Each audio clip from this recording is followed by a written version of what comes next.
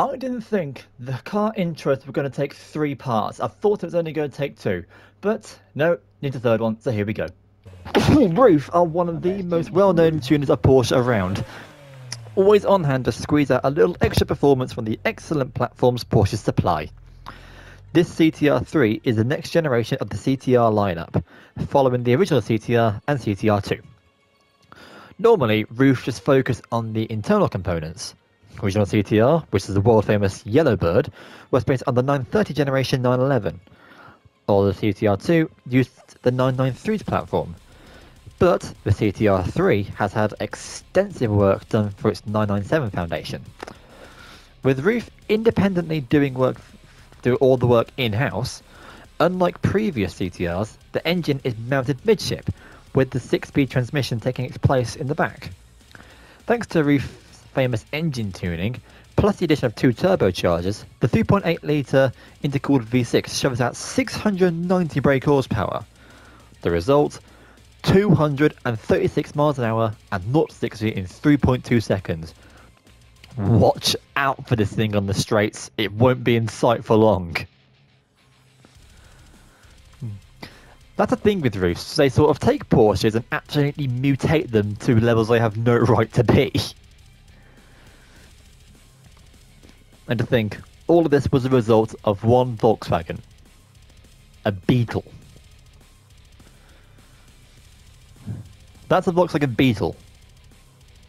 Or at least, what little remains of it.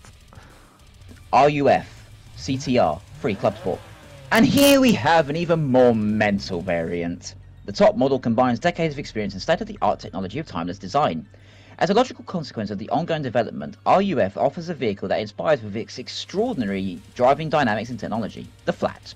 Wide front of the independent design with the characteristic front fenders make an impressive appearance for the viewer from the outside. Thanks to the special design of the fenders and the extremely low A-pillar in the conjunction with the low seating position, the driver at the CTR has a view of the road that is reminiscent of earlier sports prototypes. Along with carbon fiber body construction, the addition of a rear wing engine turning to 777 brake horsepower and keeping with its 236 mile per hour capability, the other tuners will struggle to keep their machinery ahead of this behemoth. Source https www.ruf-automobile.de en model ruf-ttr 3 3 clubsport dash Okay, Matt Rose. well, you did leave a link, so I had to read it. the series is the FIA Speed World Challenge, a world endurance championship, and it differs from the GT class whereby the car can run any engine they choose, regardless of displacement size. In order to stick it to rivals Ferrari in the series, Shelby decided to go big or go home with its engine for their new car, the Cobra. As luck would have it, Partners Ford had set aside a few uh, gigantic 7 litre 427 side oiler engines designed for stock cars. It was settled. The Cobra would run these engines, and development began in late 1964, with the prototype completed in the spring of 1965. However, a problem immediately reared its ugly head. Compared to the 345 brake horsepower produced by the previous 289 unit, the 427 side oiler was producing 493 brake horsepower. Which true, doesn't sound like an issue, but when you consider that Shelby designer Phil Remington stated that the suspension wouldn't be able to handle this monstrous power, it quickly threatened the whole project. The characteristic side-mounted leaf suspension was abandoned and replaced with more conventional dual double wishbone and core, dampers. The suspension crisis averted, the Cobra cleared its 100 unit production minimum and acquired the FIA homologation certificate. It entered the Sports Car Club of America A production class from the opening of the 1966 season. In the end, 348 Cobra 427s were built, with 88 being set aside for competition specs or test cars. Just as a side note as well, they also produced a supercharged uh, road model with competition spec equipment. They only made 31 of these. So they got given an engine that was far too powerful for the, for the suspension to handle and nearly derailed the whole project. If that isn't American, I don't know what is. Skoda VGT. Created exclusively for Gran Turismo, this all-electric single-seat concept race car is Skoda's first introduction into the series. Inspired by the 1957 1100 OHC Spider race car, a car developed to be raced at the 24 Hours of Le Mans, this VGT is a modern-day tribute to the car that ultimately never truly got the spotlight it deserved. Despite racing from 1960 to 1962, Skoda's VGT project began five years ago in 2019. When a design team revisited the 1100, they were torn whether to restore the original car or to conceptualize a futuristic iteration for the digital age. After a consultation to the chief designer Oliver Stefani, they opted for the latter, creating a fusion of past and future design languages. This racing concept boasts a sleek interior, crisp, clear line, and edges mirroring the, the, the current day Formula E cars. Two air brakes to assist in cornering and braking independent wishbone, pushrod suspension, carbon mo- uh, monocoque chassis. Basically, it's got a lot of gubbins in it. That means it's fast, obviously. Turns well and won't free uh, fall apart in a breeze. Most importantly, though, it features 200 kilowatts, equivalent to 268 2.2 brake horsepower, electric twin motors with one on each axle, delivering a total output of 1071 brake horsepower. With a total weight of 1.3 tons and ants weight for an electric car, this car is faster around corners than it any has any right to be. And unlike any other electric cars, it actually makes a sound.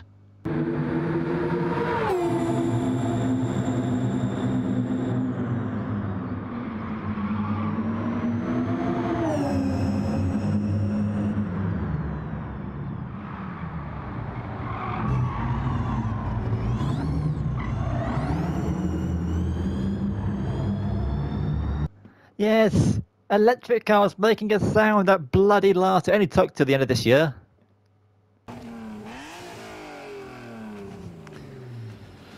The Spoon NSXR. Released alongside the, the Fork NSXR and the Knife NSXR, I presume. I'm kidding. In the 30 years of existing, Spoon has achieved a lot of things.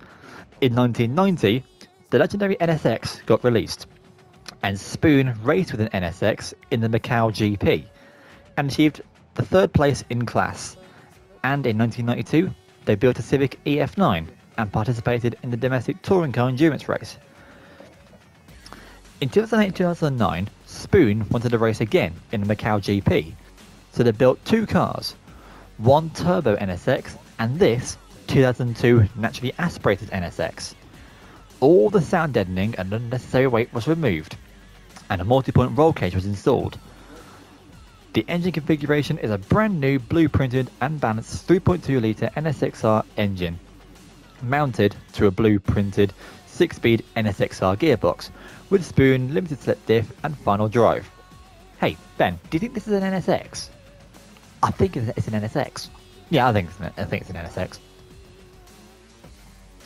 Anyway, as the car had been built with endurance and racing in mind, the brakes are Motorsport Brembo calipers on the front and rear with two-piece floating rotors. Surrounding the brakes are forged ProDrive GC10s, GCO10s, excuse me, super light and strong wheels with Bridgestone tyres. The exterior is finished in the familiar spoon livery covering the full NSXR GT Aero, including the front and rear bumpers, bonnet, spoiler and finished off with spoon aero mirrors. The interior of the car is simplistic, only a few buttons and a clean display which contains all the info one could need. Also, did I mention the full carbon dashboard? Honda Fest in 2018 in Meppen, Germany was the first event the NSX was shown at during the Europe tour.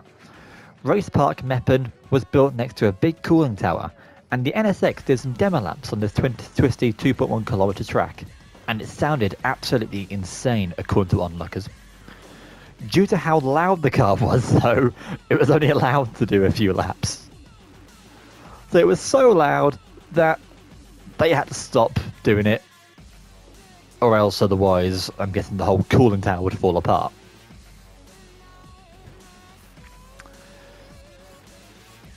Also, how many times do you think I said NSX during that? I have no idea. yeah. I think this is an, it's an, it's an NSX. Yeah, only slightly. Yeah. Spoon Sports. Indeed. This uh, We all need uh, info, by the way, came from uh, the Wangan Warriors website. Wh- wh- What? Pardon me? This information came from www.wangan Warriors. Did you think I said something Oh. else, you naughty boy? Yes. Pardon me. this information came from the Wangan. Stielow Engineering Red Devil. This 69 Camaro is a pro touring style custom car that was built by General Motors engineer Mark Stielow in his own garage. Pro touring style cars are based on muscle cars of the 60s and 70s, and while they maintain a the uh, the original exterior, their mechanical aspects are updated to the latest technology. A great amount of machinery driving Mark 69 Camaro has been replaced with today's cutting edge, achieving performance levels equal or to surpassing the Corvette ZR1. The name Red Devil comes from the development of the code name for the Corvette ZR1, the Blue Devil. The engine powering the car now is based on the 7-litre LS7 from a Corvette Z06, and using cylinder heads from the LS9 ZR1 engine together with a supercharger, it has been tuned to the maximum output of 745 brake horsepower. The transmission is a Tremec 6-speed, and the suspension has been replaced with Detroit Speed coilovers. Brem- Brembo brakes are installed for stopping power, and it is even equipped with an ABS system. The Red Devil marked 3.4 seconds in the 6, 0 to 60 acceleration test of and Driver, Car and Driver magazine, and its quarter mile time is 11.5 seconds, outdoing the Corvette ZR1 in both tests. Highly regarded for pouring today's technology into historically significant muscle car to make it ready to even take on the Nürburgring, the Red Devil was selected for the Best in Show of the Gran Turismo Awards at the 2010 SEMA show. The Subaru WRX, an all-wheel drive sports saloon manufactured by Subaru. Duh. The Subaru WRX was originally a version of the Subaru Impreza. However, the WRX was separated from the Impreza in 2014. WRX stands for World Rally Experimental. STI, Subaru Technica International variants, were also brought all over from the Impreza line. The STI S207 was released in 2015, limited to 400 units. This version of the STI S207, known as the NBR Nürburgring Challenge Package, was also released to celebrate Subaru's class victory at the 2015 Nürburgring 24 Hours, and is limited to 200 units. Run by a 2-litre EJ20 engine that produces 323 brake horsepower, the NBR uh, challenge package also comes with a six-pot Brembo brake at the front and four pots at the rear. A front splitter, rear spoiler, and a hard-to-miss sunrise yellow paint finish as well. Unfortunately, they were only sold in Japan. The lucky bastards. Subaru BRZ GT300. Subaru had already begun competing in the GT300 class of the Super GT series of the BRZ. However, that was with the first generation from 2012 to 2016. With the second generation model debuting in North America in autumn 2020, Subaru immediately set to work to get the new car ready for the 2021 season. Just like with the first model, the new car had its engine developed by STI and bodywork by R&D Sports. With improved aerodynamics and shifting of the weight distribution, the car's cornering characteristics had seen a further improvement from its predecessor. In the hands of drivers Ta- Takuto Iguchi and Hideki Yamaguchi, the potential of the new BRZ was immediately on display. And in the 2021 season, they were blinding, taking pole in four of the eight races and winning the championship.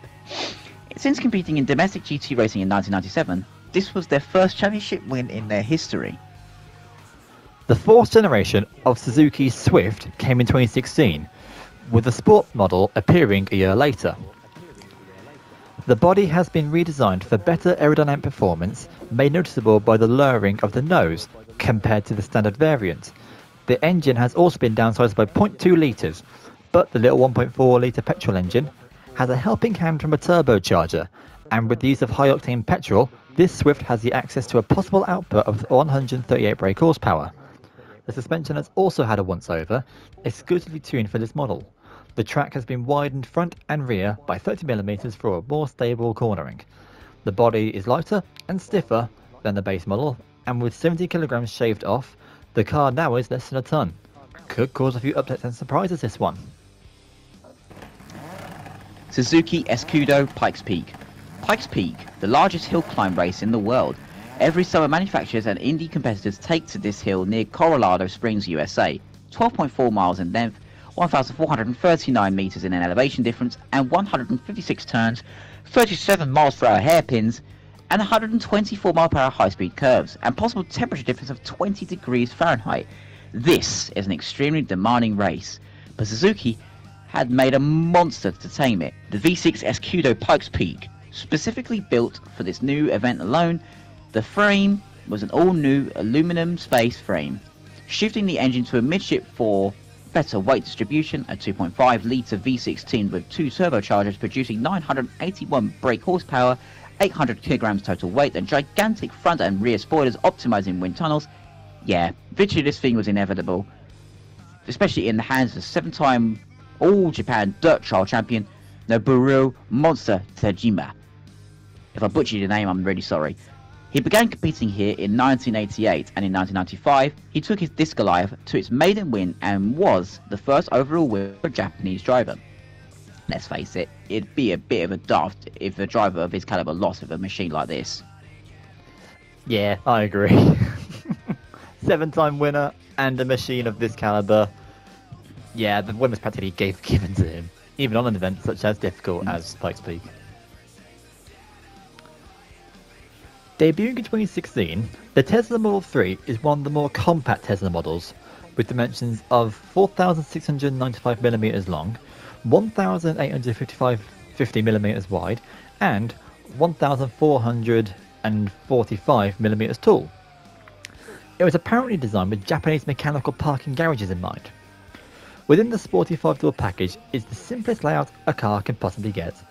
No switches on the dashboard, no instruments display, nothing. Everything is done on a tablet to the side of the steering wheel, and with everything from climate control to Tesla's famous autopilot being on this 15 inch screen, are also available on a smartphone app. There are many different layouts for the Model 3s you can opt for, just like with the other Tesla models, but this performance dual motor all wheel drive is the most powerful and best performing Model 3 to date. Placing an electric motor at each axle, the total power output is not officially public information as of yet but with a 0 to 60 time of 3.3 seconds and a top end of 162 miles an hour, the unmatched cost to performance ratio should speak for itself. That's the thing with Teslas. I like them, but I don't. Mm. What do you think, Ben? What are your thoughts on Teslas? I mean, they're alright. They're okay. I do like the technology inside of them, but mm. personally, not my go-to car in the world.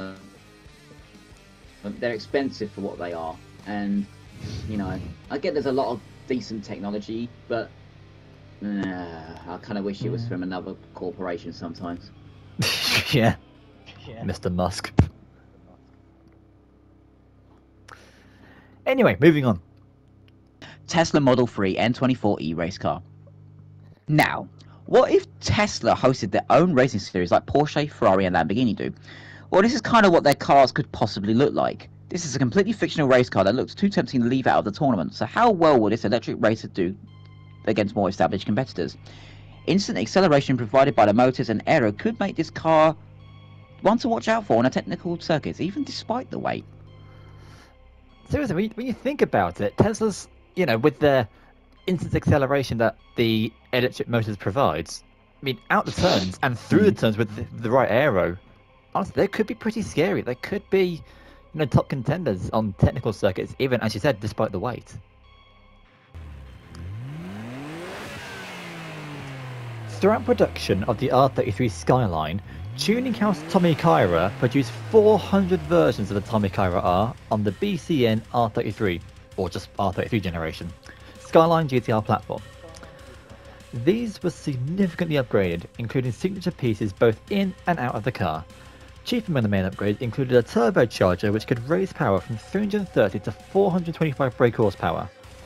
These were all signed and numbered, and Tommy Kaira offered a six-piece body kit specifically for the R33 Skyline GTR.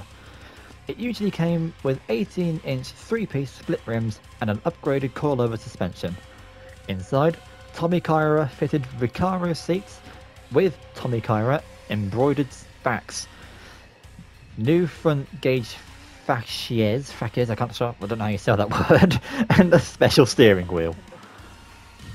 I buggered that one up at the end, but that's going good.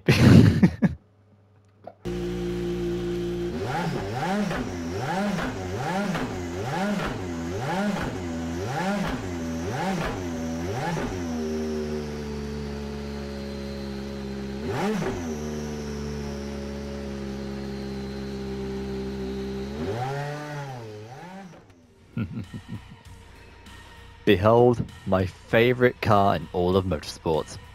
Or at least the road going version. Toyota GT1 road car.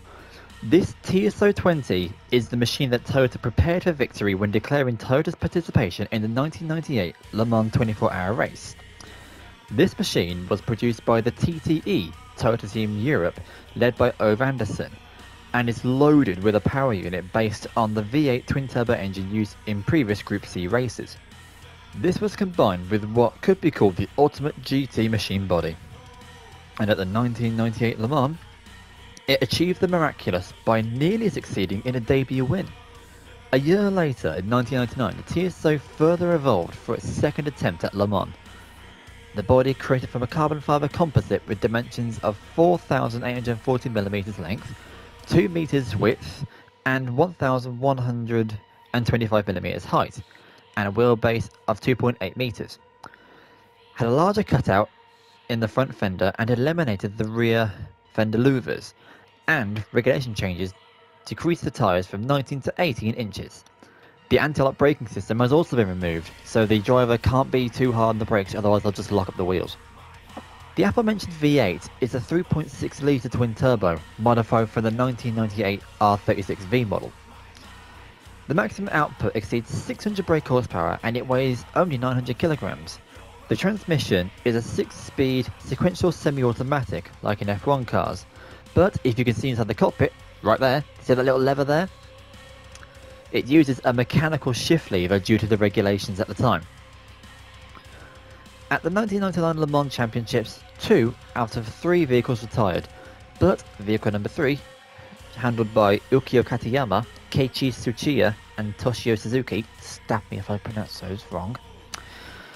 Three Japanese drivers scored a magnificent second place, all very impressive, but this is the road-going variant of that legendary car. If Toyota wanted to enter the GT1 into Le Mans in 1998, they were required to build, by GT1 regulations, a handful of road legal models. And just how many was a handful? Two. Two GT1 road cars were all that TTE had to make in order to enter the most prestigious enduring racing event in 1998. Just as an aside as well, Nissan were tasked with doing the same thing for their R390. They only had to make one road going car a single one. Developed to compete in the LMP1 class of the World Endurance Championship 2016 season, the TS050 had a lot of expectations to live up to, as its predecessor, the TS040, became series champion in 2014.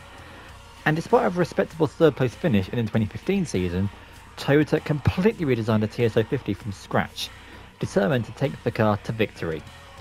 Just like its older brother, the TS050 remained four-wheel drive and kept its hybrid system, but they swapped out the naturally aspirated 3.7 litre V8 to a 2.4 litre V6, downsizing the engine but slapping on two turbochargers for a bit of extra wallop.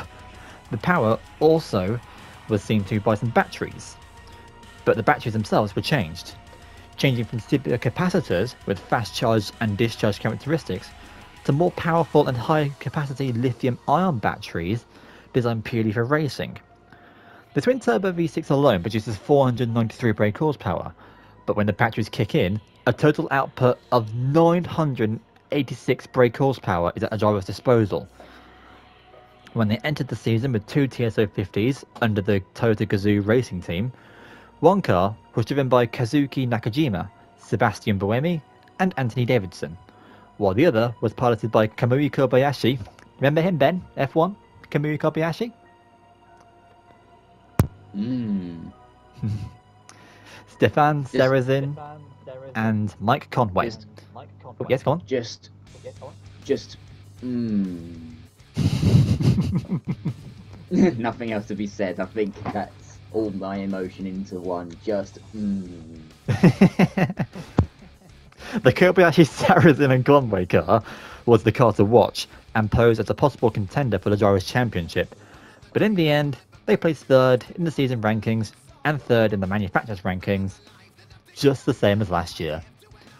So all that work into the lithium-ion batteries, engine swapping, and Kobayashiing, and they resulted with no different of a position than last year. Oh, look at that! There's a um, just noticed in the interior. There's a map of Sarthe on by the driver on the left side. Look, left side. That's cool. Neat. Lovely. All right, next. TVR Tuscan Speed 6. TVR had been in business since 1958 with the debut of its Grantura, before some Russian kid got hold of his hands on the brand in 2004 and careened nearly half a decade of work to near its destruction. Before all that, though, TVR had developed the Tuscan in 2000, hoping to revive the sports car bloodline, which shared the same name and laid to waste on everything on the tracks in the 60s. A very unique styling bears little resemblance to the Tuscan of old, but it remains one of the most aggressive looking cars to this day. The engine is a 4 litre DOHC 6 cylinder and was developed completely in house. The engine gives the car its second name, the Speed 6, boasting a dry lumps, uh, a dry sump lubrication system with an oil coiler and an inline 6 throttle body to control air intake. Built on the level of high tier racing machinery of the time, with an output of just 359 brake horsepower and a total weight of just 1.1 tons, this car is a menace. And while it's not a modern car by any means, it is a machine that a driver can drive to enjoy the basic fundamentals of driving a car with no driver aids and raw experience of being one with the car. That is, of course, if driver is said talented enough to extract the best performance out of the car without wrapping himself around a tree. Yeah, TVRs are very difficult to control, even as later ones as this one. And this is a Gran Turismo original tuned model for the racetrack. Yep, that's it. Nothing more.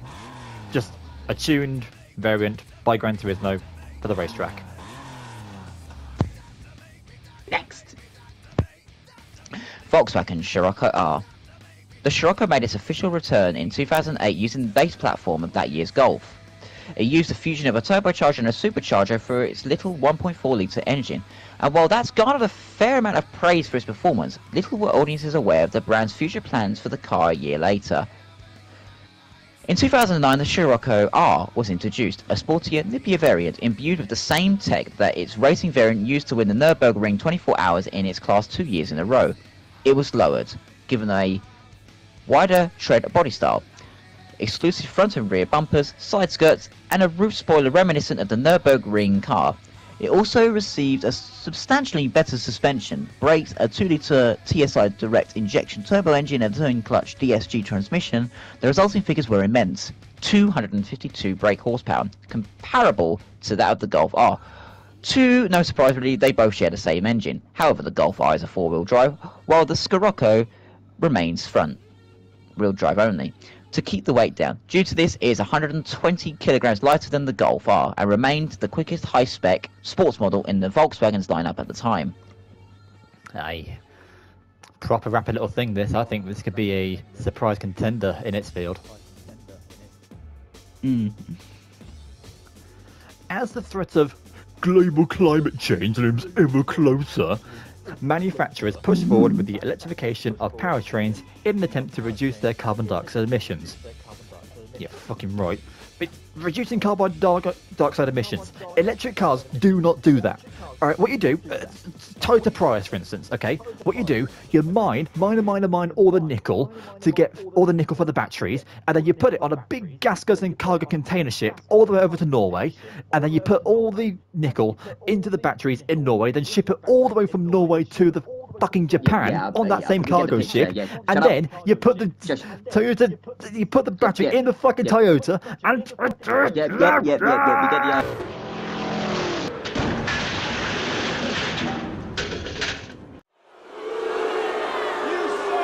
Volkswagen was one of the first companies to take up the challenge of electrifying their lineup, but in order to put their new all-electric ID brand on the map, they planned to build a car to show the world just how powerful electric cars can be. The result of this project was the Volkswagen IDR. It's made entirely out of carbon fibre and fitted with simply oversized aero components to produce amounts of downforce otherwise unimagined before. While the car is pretty big at 5.2 meters, it is stupidly light, especially for an electric car. The dual motor four wheel drive system produces 670 brake horsepower, and combined with its weight, four wheel drive, and instant power that electric motors produce, it can send this car from a standstill to 60 in just 2.25 seconds, well on par with internal combustion engine and hybrid hypercars. When VW unleashed the beast to the world, it instantly turned heads. At the 2018 Pikes Peak hill climb in the hands of Romain Dumas, it set a time of 7 minutes 57, the first car ever in history to break the 8 minute barrier. At the Nürburgring, it took the EV record, until Lotus took it earlier this year with the Evija X.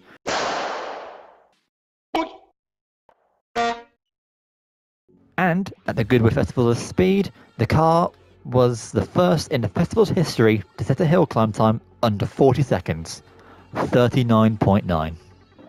Volvo V40 T5R design. The V40 was revealed as a C-segment five-door hatchback at the 2012 Geneva Motor Show. While it was shown as Volvo's entry model, the V40 would be very important in the whole of Volvo's catalogue, serving as a replacement for three different models, the S40 Salon, the V50 Estate, and the C30 hatchback.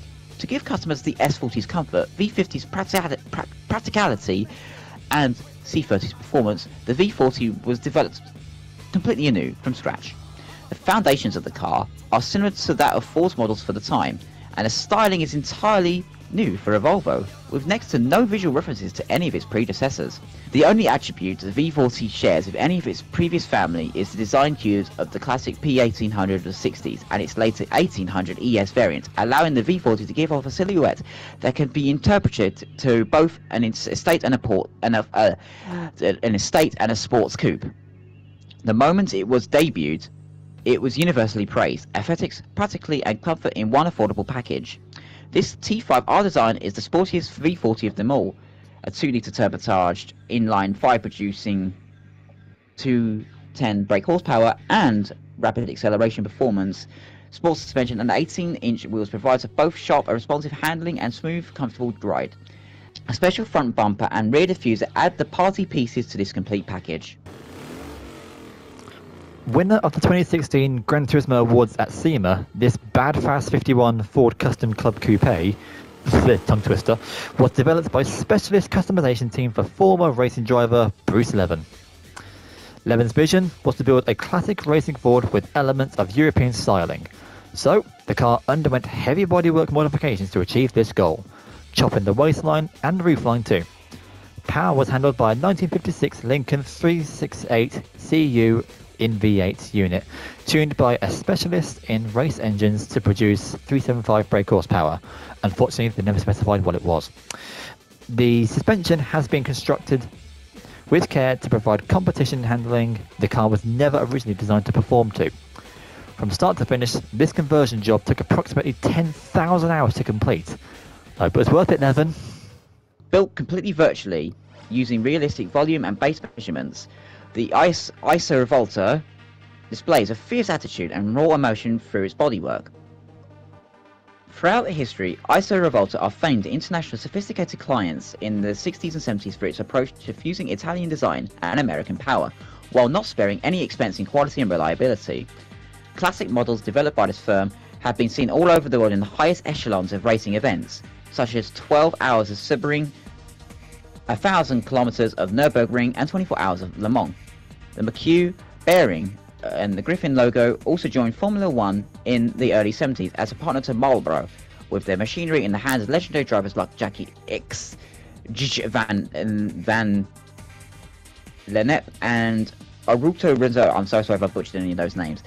To name just a few, Zagato, famed coach builders with over a century of experience, have built car bodies for the world's famous motoring brands and is well known to create iconic, competitive, in limited units on the regular. And with this, VGT, Zagato Vice President of Design Nori Harada pays tribute to Iso Volata to honour their heritage and passion for performance. With this, the Griffin and compete with the Prancing Horse, Raging Bull, Silver Arrow, and Dinner Plate in the world of Gran Turismo. Dinner plate? that BMW? huh? Did I, did I say dinner plate? Yeah. oh God! Hang on. oh yeah, it does say dinner plate. Yeah, because if you look at the BMW logo, that's what it is. And so, that is it. That is all of the car's history gone through. Next video you see from me, it will be the beginning of the tournament at fucking last. It will begin with the lowest tier road car round. Then it will be the lowest tier motorsport round. And then it will be the lowest tier tuning house round. After that, it will be the mid-tier road car round, mid-tier motorsport round, and the highest tier tuning car round. Then it will be the highest tier road car round and the highest tier motorsport round before we move on to the next track. And that formula will be replicated across all 20 racing rounds before we go on to the drift trial and then the time trial. It probably won't be happening in that order. I'll probably throw the drift trial and the time trial in sort of the middle of the um in the middle of everything. Yeah, just to sort of uh split things up a bit. You know, so it's not just 20 rounds of racing straight and then it's two fun rounds at, at the end. No, it'll be the two sort of fun rounds will be in the middle of the uh the season. I'll decide where to put them. But don't worry, the they will happen at a time where I find it most appropriate. But other than that, thank you very much for learning about history, the history of these cars. And now, we race. We'll see you for that. Bye bye.